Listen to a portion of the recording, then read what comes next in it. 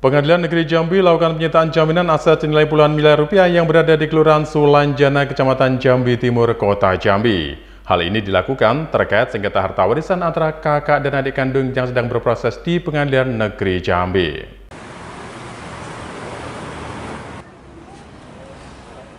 Perkara gugatan perdata pengusaha Jambi Edi Gunawan terhadap adik kandungnya Hendri Gunawan selaku tergugat satu dan kakak kandungnya Anatania selaku tergugat dua terus berlanjut. Pengadilan Negeri Jambi melalui jurusita melakukan penyitaan jaminan terhadap aset harta warisan senilai puluhan miliar rupiah di Kelurahan Sulanjana, Kecamatan Jambi Timur, Kota Jambi pada Selasa 3 September 2024. Penyitaan ini dilakukan terkait perselisihan harta warisan antara Edi Gunawan dengan adik kandungnya Hendri Gunawan yang saat ini sedang berproses di Pengadilan Negeri Jambi.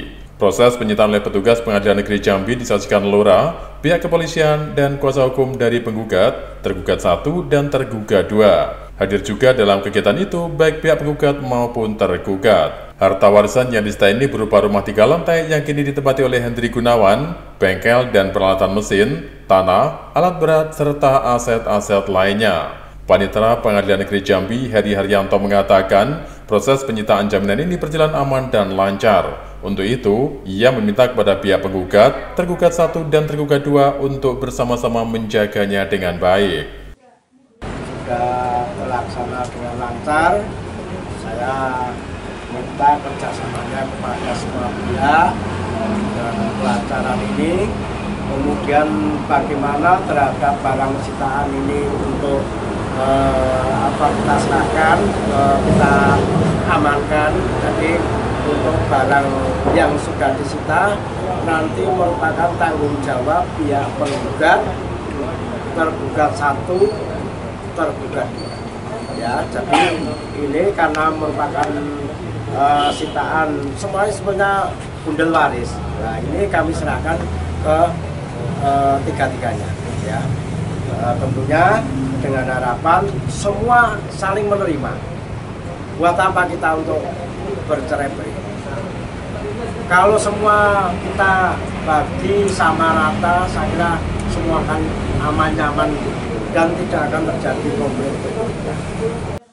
Sementara itu, Edi Gunawan selaku pihak penggugat mengatakan, dalam proses sita jaminan ini yang mendapati banyak aset warisan milik kedua orang tuanya yang telah hilang. Salah satunya berupa tiga unit mesin yang nilainya mencapai 6 miliar rupiah. Jaminan eksekusi sudah dilaksanakan sama pengadilan. Uh, Alhamdulillah semua berjalan lancar. Cuma ada sedikit aja satu, kamarnya nggak sama sekali dibuka. Saya duga itu banyak simpanan barang-barang yang lain. Nggak, nggak jelas lah, tapi saya yakin pasti ada. Kenapa dia alasan nggak buka gitu. Dari hasil pencatatan kita tadi uh, ada yang berkurang atau gimana? Ada yang berkurang, banyak yang berkurang.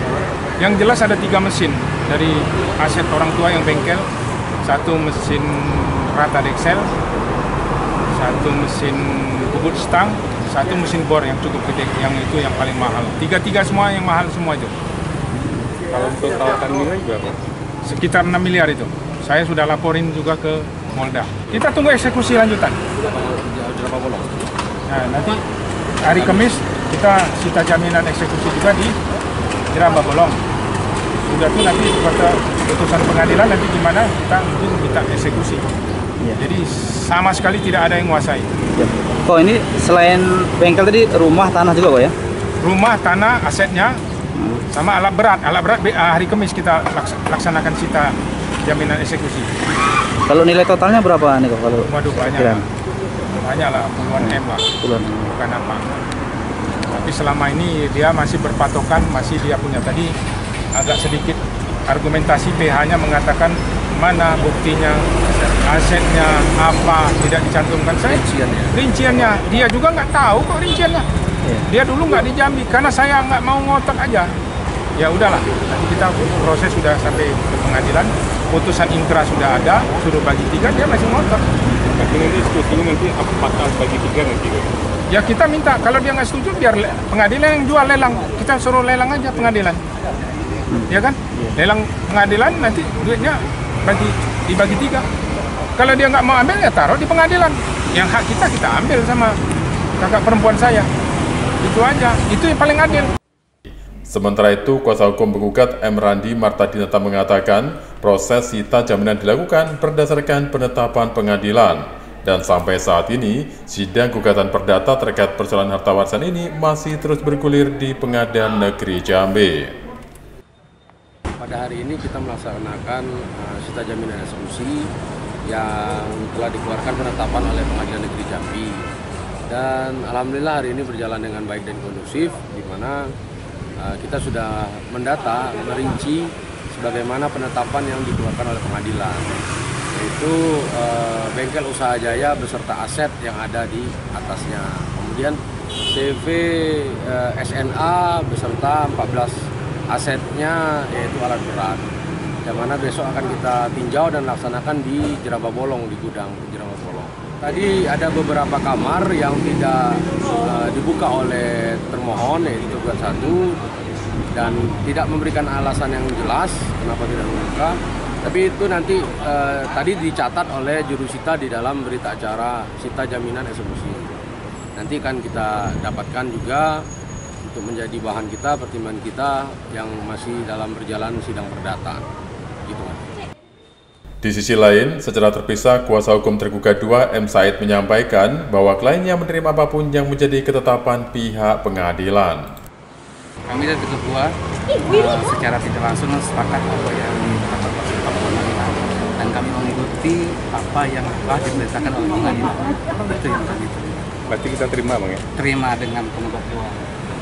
Berarti nanti kita nanya bagi tiga terima bang ya? Nanti sesuai dengan keputusan dari pengadilan. Itu yang